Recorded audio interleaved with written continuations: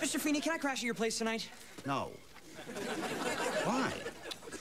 I had a fight with Jack about his girlfriend. Same old story. Sure, you heard it a thousand times. She's a witch. She talks to the devil, and apparently I'm standing between her and the doorway to hell. You're definitely not sleeping here. I know, but of all the nights to fight, I mean, Halloween.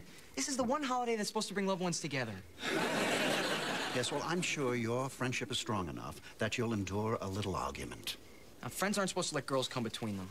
But Jack has made it perfectly clear that I'm just his roommate. I I don't know why I'm letting this bug me. Well, if he was just your roommate, you wouldn't be out here talking to me. Now, Eric, just uh, think of some way to get him to hear you. You didn't even break a sweat on this one. I hate to see people fight on the only holiday that brings loved ones together. Merry Halloween, Mr. Feeney.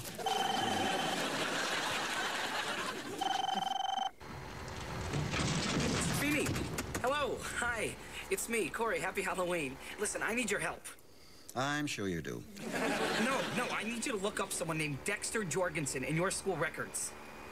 Mr. Matthews, those files are personal and confidential. Why do you ask? He's my pilot. Uh-oh. Whatever you do, don't get on that plane. Oh, goodbye, Mr. Feeney. I love you very much. I'm sure you'll be fine, Corey. I lost him. Topanga. Oh, no, Topanga, I've lost you too. No, Corey, I'm right here. What are you doing? Well, Dexter heard that this was my first time flying and that I was afraid, and unlike you, he cared. So he asked me to come up here and face my fears, and now I'm flying the plane. Dexter, Yes, my co-pilot. is it all right if I see what this bird can do? Go for it.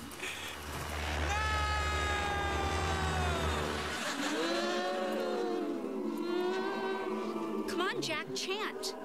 Just open your soul and let the spirit take you to the place where darkness reigns. Can't we just bop for apples? Okay, I want to thank whoever provided the shrouds. Mine's a little snug. Anyone want to trade a medium for a large? I love Halloween! How come everyone's wearing the same costume? It's not a costume. I'm mistaken. Hey, can we try that one over again? Because I wasn't ready. Three, two, one. Oh! All right, now we're wailing. Party! Hey, you in the shroud, get the door. One for the little pirate, one for the little mermaid. Oh, and a little witch. You don't get any because you mock us. It's time.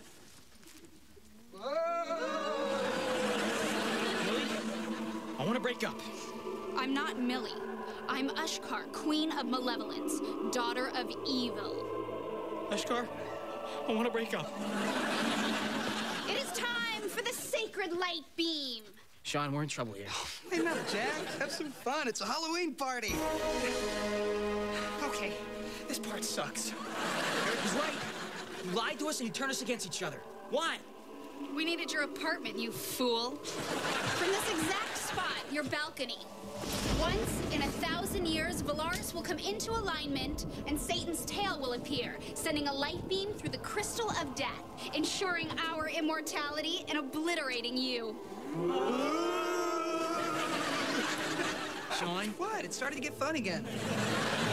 It is written that in this very spot on this very night, a hunter will be sacrificed. Two hunters are even sweeter. How about two hunters and a Matthews? Eric, you've come to save us. He wouldn't know how to save you. Oh, yeah? Went to the bookstore last night.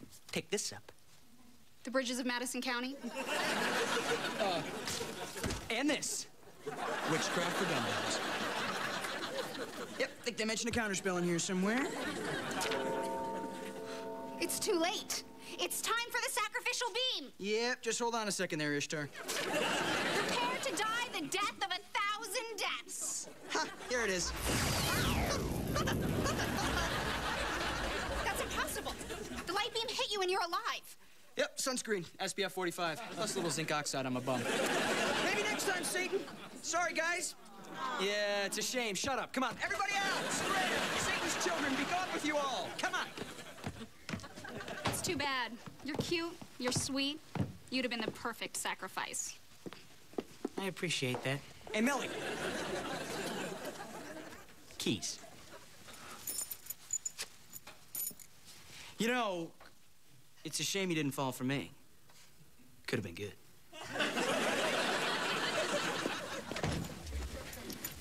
Eric, I saw that light beam. Was that real?